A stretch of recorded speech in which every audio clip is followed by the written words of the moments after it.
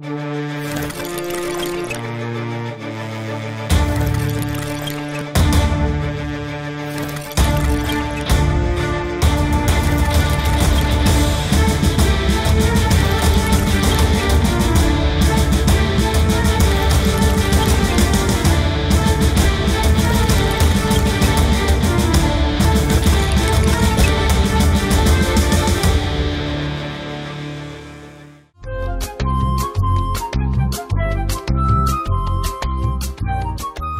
கிறிஸ்துவுக்குள் பிரியமானவர்களே ஒரு வித்தியாசமான ஒரு காட்சியை கொஞ்சம் உங்கள் கண்ணுக்கு முன்னாடி கொஞ்சம் பாருங்களேன்.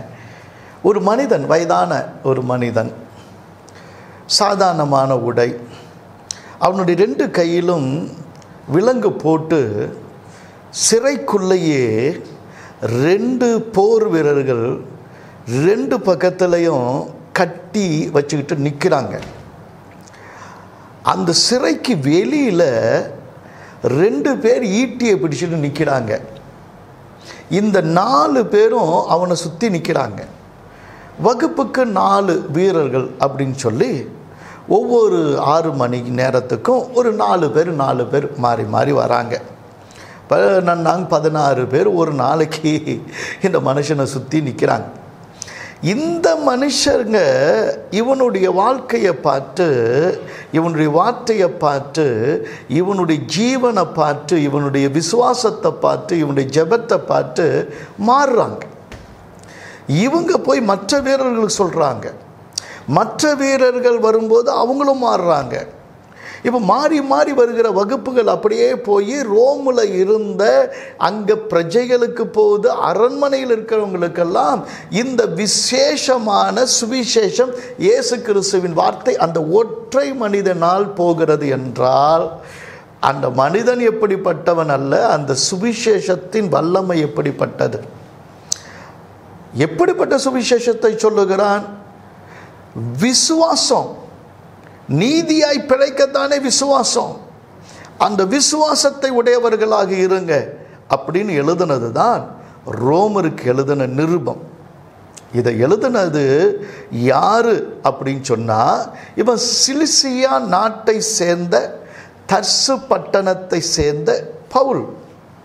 பிறப்பால் இவன் ரோம பிரஜை. இவன் பிறப்பால் இவன் ரோம பிரஜை. அவனே சொல்கிறத அப்போ சிலரில் நீங்கள் இருபத்தி ரெண்டாவது அதிகாரம் மூணாம் வசனத்தை வாசித்தா அவன் சொல்லுவான் நான் யூதன் சிலிசியா நாட்டில் உள்ள தர்சு பட்டணத்தில் பிறந்து இந்த நகரத்திலே கமாலியலினுடைய பாதத்தருகே வளர்ந்து முன்னோர்களுடைய வேத பிரமாணத்தின்படியே திட்டமாய் போதிக்கப்பட்டு இன்றைய தினம் நீங்கள் எல்லோரும் தேவனை குறித்து வைராக்கியம் உள்ளவர்களாக இருக்கிறது போல நானும் வைராக்கியம் உள்ளவனாய் இருந்தேன் என்று சொல்லுகிறான். நான் ஒரு யூதன். சிலுசியா என்கிற நாட்டை சேர்ந்தவன் தர்சு பட்டணத்தை சேர்ந்தவன் கமாலியேல் என்று சொல்லும்போது அந்த அரிஸ்டாட்டில் அப்படின்னு வர்றாங்க இல்லையா? அப்போ அவங்களுடைய பாரம்பரியத்தில் வந்த கமாலியல் என்கிற ஒரு பெரிய ஞானியிடத்தில் உட்காந்து படித்தவன் யூத மார்க்கத்தை எல்லாம் கரைச்சு குடிச்சு வந்தவன். ஆனால் அப்படிப்பட்ட நான் இப்பொழுது உங்களுக்கு சுவிசேஷத்தை குறித்து பேசுகிறேன் நற்செய்தி சொல்கிறேன் அந்த நற்செய்தி என்ன தெரியுமா? விசுவாசத்தினால நீதிமான் பிழைப்பான். நீதியாய் பிழைக்கத்தானே விசுவாசம். அதற்காக எழுதப்பட்டது தான் இந்த ரோம புஸ்தகம். கிறிஸ்தவர்களை ஒடுக்கிறதுக்காக வந்தது தான் தமஸ்கு பட்டணத்துக்கு எருசலேம்லேருந்து தமஸ்கு பட்டணத்துக்கு போன அந்த வழியில் தான் கிறிஸ்துவை தரிசிக்கிறார். இயேசு சொல்கிறார் முள்ளில் உதைக்கிறது உனக்கு கடினமாம் என்று சொல்லுகிறார். அப்போ இயேசு சொன்ன அந்த வார்த்தையை அவன் எடுத்துக்கொள்ளுகிறான் ஆண்டவரே நீர் யார்? நான் என்ன செய்ய சித்தமாக இருக்கிறீர்? என்று சொல்லி இவன் ஏற்றுக்கொள்ளுகிறான். இந்த பவுல் போய் அந்தியோக்கியாவில் பர்ணபா மூலமாக வந்து சேர்ந்து அங்கே சுவிசேஷத்தை சொல்லி அவங்களுடைய சுவிசேஷத்தை கேட்டு அந்த உபதேசத்தை கேட்டு தான் முதல் முதல்ல கிறிஸ்தவங்களே வர்றாங்க. அப்போ எவ்வளவு பலமாக அவங்களுடைய வாழ்க்கை மாறி இருக்கும் என்பதை கொஞ்சம் கவனிங்க. இந்த பவுல் ரொம்ப வித்தியாசமானவன். நம்ம சவுல்னு ஆரம்பிக்கிறோம் பின்னாடி பவுல்னு சொல்கிறோம் ஆனால் இந்த பவுல் இயேசுவை பார்த்து பழகினவன் அல்ல. இயேசுவை ஒரு முறை கூட பார்த்தவன் இல்லை. ஆனால் உயிர் தெழுந்த இயேசுவை தரிசித்தவன். மத்தேயு வந்து இயேசுவை யூதர்களின் மெசியாவாக காண்பிக்கிற வேலையில் இந்த பவுல் தான் இயேசுவை மனித குலத்துக்கு இரட்சகராக காண்பிக்கிறான்.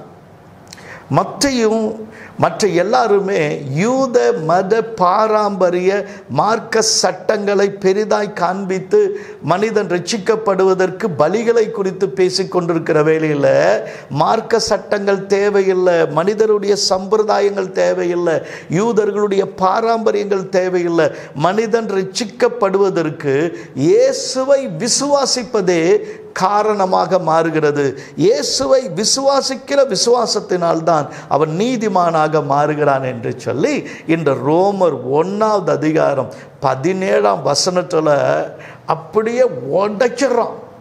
மார்க்கத்தை பாரம்பரியங்களை சடங்காச்சாரங்களெல்லாம் உடைச்சிட்டு விசுவாசத்தினால தான் நீதிமான் பிழைப்பான் என்று எழுதுகிறான். இதை தான் மார்ட்டின் லூத்தர் ஜெர்மனில் இருக்கும்போது இந்த வசனத்தை வாசித்து தேவ நீதி விசுவாசத்தினால் தான் கிடைக்கிறது. மார்க்க சம்பந்தமான இந்த சட்டங்களால் அல்ல இந்த சம்பிரதாயங்களால் அல்ல அல்லது மனிதருடைய வழக்கத்தினால் அல்ல அல்லது இவர்களுடைய இந்த ஜெபங்களோ தபங்களோ அல்லது செயல்களோ அல்ல. அவரை விசுவாசிக்கிறதுனால தான் சமய சடங்குகள் எதுவும் இல்லாமல் விசுவாசிக்கிறதுனால தான் கிடைக்கும் என்கிற அந்த சத்தியத்தை அறியும் போது தான் தொண்ணூற்றி ஐந்து கோட்பாடுகளை அங்கே விட்டன்பர்க் தேவாலயத்தில் அடிச்சுட்டு இந்த கேள்விகளுக்கு பதில் சொல்லிட்டு தேவ ஆலயத்தை திறங்கன்னு சொல்லும்போது தான் தீயாக அந்த சத்தியம் பற்றி பிடிக்கும் போது தான் ப்ராட்டஸ்டன்ட் மார்க்கமானது இந்த வசனத்தினாலே தான் தீ விட்டு எரிந்தது என்பது ஆச்சரியமாக இருக்கும். உலகத்துக்கு ஒரே தெய்வம் தான் பாருங்க அவர் யார்? இந்த ரோமரில் தான் ஒன்றாவது அதிகாரம் அஞ்சாம் வசனத்தில் அற்புதமாக சொல்கிறான் மாம்சத்தின்படி தாவீதின் சந்ததியில் பிறந்தவரும் பலமுள்ள ஆவியின்படி தேவனுடைய சுதன் என்று மறித்தோரிலிருந்து உயிர் தெழுந்ததினாலே பலமாய் ரூபிக்கப்பட்ட தேவகுமாரனுமாய் இருக்கிறார். அவர் சகல ஜாதிகளையும் அவர்களுக்குள் இயேசு கிறிஸ்துவினால் அழைக்கப்பட்டவர்களாகிய உங்களையும் தமது நாமத்து நிமித்தம் விசுவாசத்துக்கு கீழ்ப்படிய பண்ணும் பொருட்டு எங்களுக்கு கிருபையும் அப்போ சில ஊழியத்தையும் அருளி செய்திருக்கிறார் என்று பேசுகிறார். சகல ஜனங்களும் ஜாதிகளும் இயேசு கிறிஸ்துக்குள் அழைக்கப்பட்டிருக்கிறார்கள். அந்த சத்தியத்தை சொல்ல தான் எங்களை அப்போசரரா கத்தர் கிருபையினால் அழைத்திருக்கிறார் என்று சொல்லி. பதினாறாம் வசனத்தில் கிறிஸ்துவின் சுவிசேஷத்தை குறித்து நான் வெக்கப்பட மாட்டேன். முன்பு யூதரிலும் பின்பு கிரேக்கரிலும் விசுவாசிக்கிறவன் எவனோ அவனுக்கு ரட்சிப்பு உண்டாகிறதற்கு அது தேவ பலனாயிருக்கிறது அப்படின்னு சொல்லிட்டு ரோம ரெண்டாவது அதிகாரம் ஆறாம் வசனத்தில் தேவன் அவனவனுடைய கிரியைகளுக்கு தக்கதாய் அவனவனுக்கு பலனளிப்பார் சோர்ந்து போகாமல் நற்கிரியைகளை செய்து மகிமையும் கனத்தையும் அறியாமையும் அழியாமையும் தேடுகிறவர்களுக்கு நித்திய ஜீவனை அளிப்பார் என்று தெளிவாய் ஏழாவது வசனத்திலும் எழுதி வைக்கிறார். நித்திய ஜீவனை கொடுக்க. இப்போ உலகத்தில் இருக்கிற மனிதர்களுக்கு ஒரே ஒரு பிரச்சனை தான். என்ன பிரச்சனை? காசு இல்லாத இந்த பிரச்சனை தான். பொருளாதாரம் தான் பிரச்சனைன்னு சொல்லி அது இல்லை. அவன் ரொம்ப அழகாக அதை எழுதுறான். ரோமில் தான் ஏழாவது அதிகாரம் பத்தொம்போதாம் வசனத்தை வாசிச்சிங்கன்னா ஆதலால் நான் விரும்புகிற நன்மையை செய்யாமல் விரும்பாத தீமையே செய்கிறேன். இருபத்தோராம் வசனத்தில் இன்னும் தெளிவாக சொல்கிறான் ஆனபடியால் நன்மை செய்ய விரும்புகிற என்னிடத்தில் தீமை உண்டென்கிற ஒரு பிரமாணத்தை காண்கிறேன் இருபத்தி நாலாம் வசனத்தில் வாசிக்கும்போது நிர்பந்தமான மனுஷன் நான். இந்த மரண சரீரத்திலிருந்து யார் என்னை விடுதலையாக்குவார்? எது என்னை விடுதலையாக்கும்னா நதின்னு சொல்லுவோம் குளம்னு சொல்லுவோம் கோயில்னு சொல்லுவோம் கொள்கைன்னு சொல்லுவோம் சமயம்னு சொல்லுவோம் சடங்குன்னு சொல்லுவோம். இல்லை யார் என்னை விடுதலையாக்கு? நிர்பந்தமான மனிதன் நான். இந்த சரி மரண சரீரத்திலிருந்து யார் என்னை விடுதலையாக்குவார் அப்படின்னு சொல்லிட்டு அதுக்கு ஒரு விடையை சொல்லணும்ல. அதை தான் ரோமர் எட்டாவது அதிகாரம் பத்தாம் வசனத்தில் இப்போ சொல்கிறான் மேலும் கிறிஸ்து உங்களில் இருந்தால் சரீரமானது பாவத்து நிமித்தம் மறித்ததாயும் ஆவியானது நீதி நிமித்தம் ஜீவன் உள்ளதாயும் இருக்கும். இன்னும் கொஞ்சம் புரிஞ்சுக்கணுன்னா கிறிஸ்துக்குள்ளே நீங்கள் இருந்தால் கிறிஸ்து உங்களுக்குள்ளே இருந்தால் உங்கள் சரீரம் பாவத்துக்கு மறித்ததாய் மாறிவிடும். உங்களுக்குள்ள அவருடைய ஆவி நீதியின் நிமித்தமாக இன்னும் ஜீவன் உள்ளதாய் வெளிப்படும். அப்போ பாவத்தை வெறுத்து நீங்கள் நீதி செய்ய விரும்புவீங்க. அப்போ உங்கள் வாழ்க்கையானது நீதியாய் மாறும். அப்போ பாவ சரீரத்திலேருந்து இந்த மரண சரீரத்திலேருந்து இயேசு புதிய ஜீவன் உள்ளவளாய் நீங்கள் நடந்து கொள்ள அவருடைய ஜீவன் உங்களுக்குள்ள வெளிப்படும் என்று அற்புதமாக சொல்கிறான் இயேசு இல்லாமல் உங்களுக்கு புது ஜீவன் இல்லை. இயேசுக்குள்ளே தான் புதிய வா வாழ்க்கை இருக்குது அப்போ இயேசுக்களை நான் வர்றதுக்கு என்ன பண்ணணும்?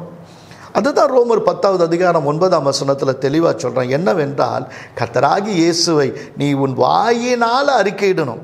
இயேசுவை நீ வாயினால் அறிக்கையிடு. நான் ஏற்றுக்கொண்டேன்னு வாயினால் அறிக்கையிட்டு தேவன் அவரை மறித்தோர்லேருந்து எழுப்பினார் என்று அவர் உயிரோடு கூட இருக்கிறாரு. மறித்தோர்லேருந்து எழுப்பினான்னு உன்னை இருதயத்தில் விசுவாசித்தா நீ ரட்சிக்கப்படுவே நீதி உண்டாக இருதயத்தில் விசுவாசிக்கப்படும் ரட்சிப்பு உண்டாக வாயினால் அறிக்கை பண்ணப்படும். விசுவாசிக்கிறவன் எவனோ அவன் வெட்கப்படுவதில்லை என்று வேதம் சொல்லுகிறது. யூதன் என்றும் இல்லை கிரேக்கன் என்றும் இல்லை வித்தியாசமே இல்லை. எல்லோருக்கும் கர்த்தரானவர் தம்மை தொழுது கொள்கிற யாவருக்கும் ஐஸ்வர்ய சம்பனராயிருக்கிறார் இயேசு கிறிஸ்துவ தேவகுமாரன் என்று விசுவாசித்து தேவன் அவரை மறித்தோர்லிருந்து உயிரோடு கூட எழுப்பினார் என்பதை நான் உன் இருதயத்தில் விசுவாசித்து கர்த்தராகி இயேசு கிறிஸ்துவை உன் வாயினால் அறிக்கையிட்டு கர்த்தர் அவரே என்று வாயினால் அறிக்கையிடும் போது நீதி உண்டாக உன் இருதயத்தில் விசுவாசிக்கும் போது அந்த ரட்சிப்பு கிரியை செய்து ஆண்டவருக்கு யூதன் என்றுள்ள கிரேக்கன் என்றுள்ள எல்லாருக்கும் கர்த்தர் அவர் தான் அவரை தொழுது கொண்டா நீ ரட்சிக்கப்படுவேன்னு சொல்கிறாரு கர்த்தரை தொழுது கொள்ளுங்க நீங்கள் ரட்சிக்கப்படுவீங்க காட் பிளஸ் நான் நடந்தாலும் கூட வருகின்றீ நான் படுத்தாலும் சூழ்ந்து காக்கின்றீ நான் நடந்தாலும் கூட வருகின்றீ நான் படுத்தாலும் சூழ்ந்து காக்கின்றீ அப்பாவும் அன்பு ஆழமானது. அப்பாவும் அன்பு ஆழ